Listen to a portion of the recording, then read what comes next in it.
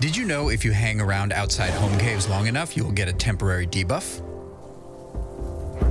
This debuff appears when you have been standing in the vicinity of a home cave for several minutes and is shown by a red home cave icon.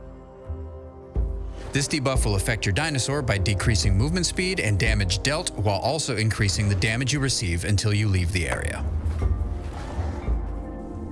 On the other side, we have a home cave buff that offers a grace period of protection. Shown by a blue home cave icon when exiting your home cave, this buff functionally removes you from PvP for a short period of time by ignoring any damage received or dealt, giving you time to escape from any predators lurking nearby.